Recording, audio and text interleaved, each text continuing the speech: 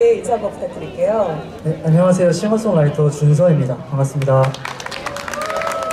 오늘 첫 번째로 들려주신 곡 소개부터 좀 부탁드릴게요. 네, 어, 바- 제가 방금 들려, 들려드렸던 노래는 아야진 바다라는 노래인데요. 어, 아야진 바다를 알고 계시는 분들도 있을 것 같은데 아야진 바다는 강원도 고성군에 위치한 바다 이름입니다. 물이 굉장히 맑고 좀 예쁜 바다여서 여러분들도 좀 답답한 어, 회색 도시를 벗어나고 싶을 때 한 번씩 들려보는 걸 추천드립니다. 아, 바다 노래였군요. 네. 여기랑 분위기가 너무 잘 어울렸어요. 어, 네, 저도 부르면서 그쵸? 되게 기분이 좋아요. 그러니까 섭외를 아주 잘 해주셨습니다. 아 그리고 준서 씨 말고 옆에 연주해 주신 분들 한번 어. 이름 처음에서 소개해 주세요. 네, 옆에는 저희 기타 치는 준상이 형입니다. 네, 박수 한번 부탁드리겠습니다. 계속해서 무대를 이어 나가실 텐데 다음 어떤 노래 들어볼까요? 네, 이번에 제가 다음으로 준비한 노래는 또 저의 노래인데요.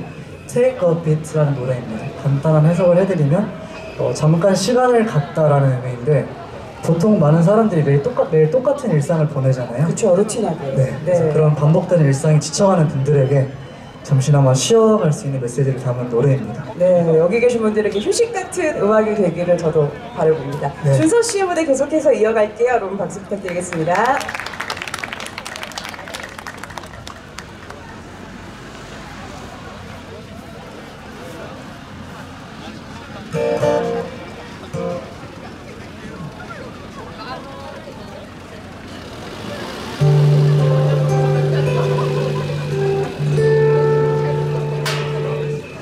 끝이 보이지 않는 잠시 손 돌릴 수도 없는 이곳.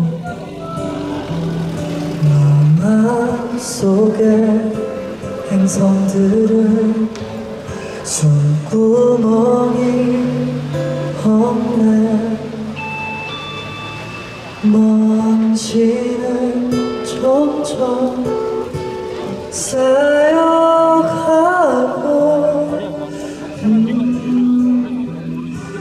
눈물로 남아